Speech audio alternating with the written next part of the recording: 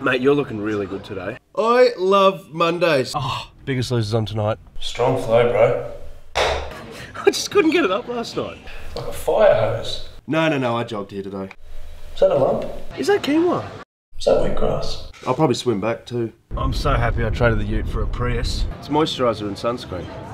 It's genius. Prius, Prius. See how soft that is? What's your star sign? Oh, almond milk. Libra? Oh, magnesium. Virgo. Two words, antioxidants. You Aries? No more red meat. You look like Aries. Mate, we should have just taken the train. Gravy? Not even maybe.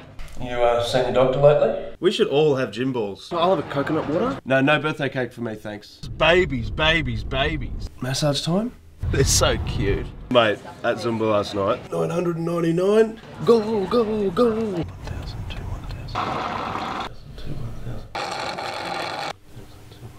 Oh, that's wholesome. Oh, I'm so healthy. Write it down, please. No salt, no sugar, no fat, organic, free range, definitely organic, biodynamic. Really, really biodynamic. Can I get a bit of flax? Uh, vanilla soy, just throw in some veggie sticks. Show me notes, show me your notes.